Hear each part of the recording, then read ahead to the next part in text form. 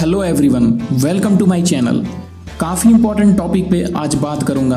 आप वीडियो को अंत तक देखें थाई कैनाल प्रोजेक्ट पे बात करूँगा। इस कैनाल के बनते ही इंडियन ओशन रीजन में बहुत बड़ा चेंज आ सकता है। चाइना इसे क्यों बनाना चाहता है? क्या है थाईलैंड गवर्नमेंट का रिस्पॉन्स और उसके साथ भारत ने पहले से क्या कर रखा है बड़ी तैयारी? सब जानने को मिलेगा इस वीडियो में। भारत के तैयारी से पहले थाई कैनाल के बारे में थोड़ा जान लेते हैं। इसे क्रा कैनाल के नाम से भी जाना जाता है। Kra canal Gulf of Thailand को अंडमान सी से जोड़ेगा। यह क्रा इस्तमस जो कि साउदर्न थाईलैंड में पड़ता है और इसकी चौड़ाई करीब 45 किलोमीटर है, उससे होके गुजरेगा।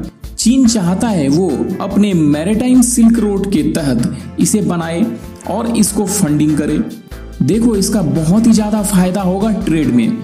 करीब 1200 किलोमीटर दूरी कम सफ़र करना होगा। अगर सिप्स मलाका स्ट्रेट के बजाय इस रूट से होके जाए तो। आप समझो तो कितना समय और कितने पैसे की बचत हो सकता है। मलाका स्ट्रेट दुनिया का सबसे बिज़ी मैरिटाइम रूट है, जिससे होके करीब टोटल ट्रेड का 30 परसेंट पास होता है।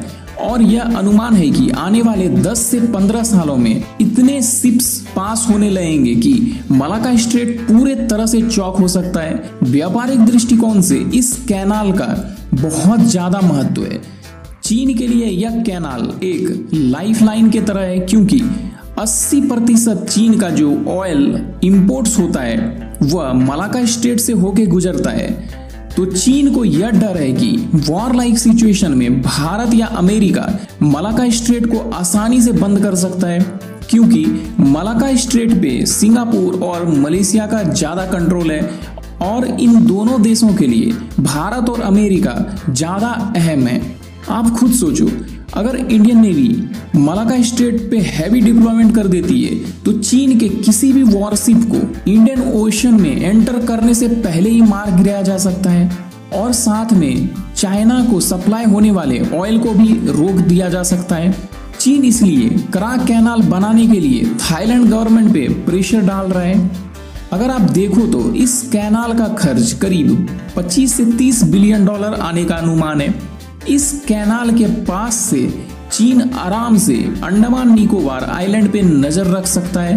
तो सोचो, भारत के सिक्योरिटी के लिए कितना बड़ा खतरा है, क्योंकि अंडमान निकोबार आइलैंड भारत का ब्रह्मास्त्र है इंडियन ओशन में। थाईलैंड के साथ दिक्कत यह है कि वह पूरे तरह से चीन के ऊपर विश्वास नहीं कर सकता, क्योंकि चीन जैसे साउथ चाइना सी में कई सारे आर्टिफिशियल आइलैंड बना रखा है। तो थाईलैंड को डर है। कहीं इस कैनाल बनाने के चक्कर में चाइना इसे मिलिट्री बेस में ना कन्वर्ट कर दे और उस एरिया पे ही ना कंट्रोल जमा ले। और उसके साथ थाईलैंड को यह भी डर है क्यों, क्योंकि जब ये कैनाल पास होगा तो ये थाईलैंड को दो पार्ट में डिवाइड करेगा। एक पार्ट जो इससे कट जाएगा, वही थाईलैंड के लिए सबसे ज़्यादा अहम है, क्योंकि वहाँ पे सबसे ज़्यादा टूरिस्ट प्लेस है और सबसे पैसे वाले भी लोग हैं, उसी एरिया में रहते हैं। यह खतरा भारत को अच्छे से पता है, क्योंकि पहले ही भारत कई सारे गलती कर चुका है और उसके वजह से चीन का कई सारा पोर्ट्स है आज इंडियन ओशन में।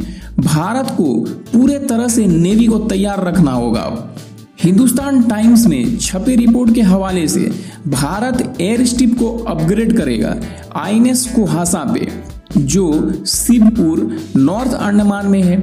उसके साथ कैंपबेल स्ट्रिप, जो निकोबार में है, उसको फुल फ्लेस्ड फाइटर बेस बना देगा।